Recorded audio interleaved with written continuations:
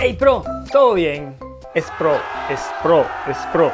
¿Cuándo en la vida he dicho bro? Jamás he dicho bro. Técnicamente lo acabas de decir. Pero no es bro, es pro, pro, pro. ¿Y quién rayos eres tú y por qué siempre apareces de rojo? Soy tu conciencia y digo lo que tú nunca dices. Ah.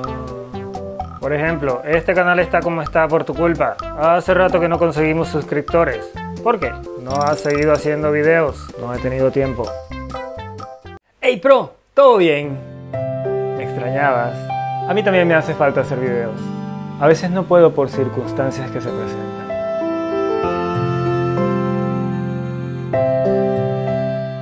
Hoy quiero enseñarte a ser un mejor programador de videojuegos o de computadoras. Por eso, hoy quiero compartir contigo una pequeña porción de mi vida profesional especialmente mi proceso de aprendizaje. Cuando estudiaba lo que estudié en el lugar aquel donde estudié, me di cuenta de que yo resolvía las cosas de manera diferente a mis compañeros.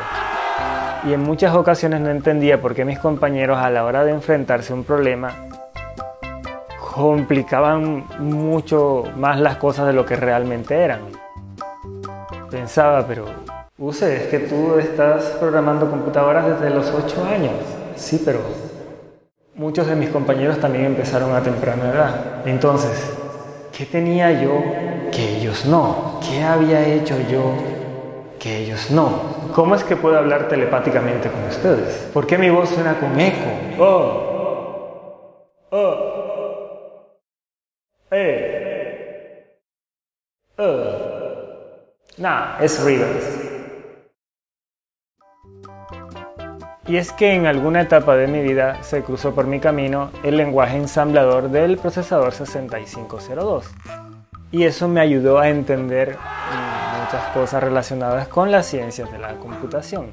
O sea que tenía una ventaja que ellos no.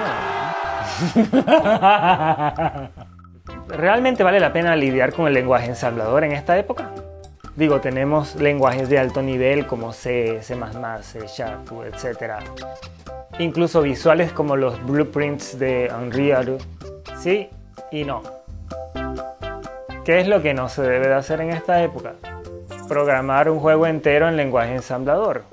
Eso se hacía en la época del Atari y del NES, donde no había otra opción. ¿Qué es lo que sí deberías hacer? Seguir programando en tu lenguaje de alto nivel, pero pensando en bajo nivel. Eso te dará otra perspectiva de cómo hacer las cosas.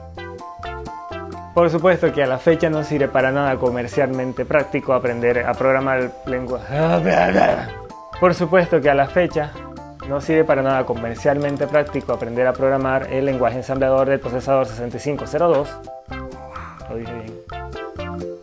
Hay un procesador que es casi omnipresente en muchos dispositivos actuales, el ARM o ARM.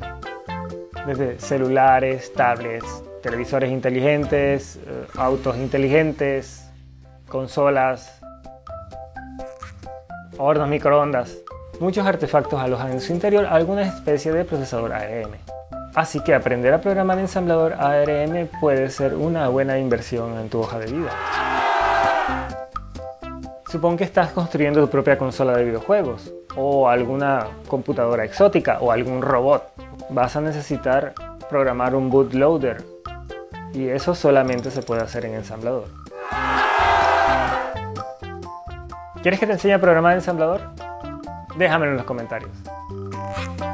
Te recomiendo que veas mis increíbles tutoriales sobre el tema. Todo este canal está lleno de cosas geniales que probablemente te has estado perdiendo y que harán subir tu nivel como programador. Te dejo los enlaces en la descripción. No puedo seguirte ayudando si no te suscribes, activas la campana y le das me gusta a este video. Me parto los huesos compartiendo mi conocimiento contigo. Así que déjame un comentario. Apóyame en Patreon y comparte este video en todas tus redes sociales. Agradecimiento a los siguientes patrones que apoyan financieramente a este canal.